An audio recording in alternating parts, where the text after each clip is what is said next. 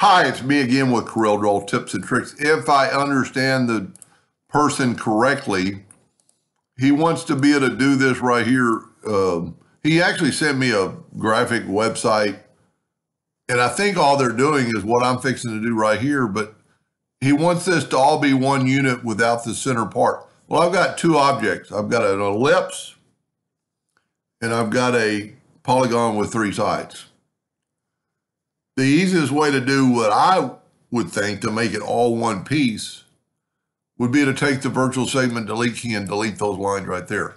Now it's not all one piece, but we can go here and go up to object and convert the outline to an object.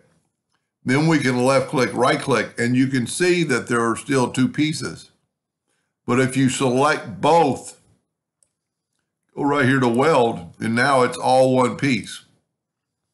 I'm hoping that was the question. I'm not 100% sure. But see, then you could fill that in and it will all be black.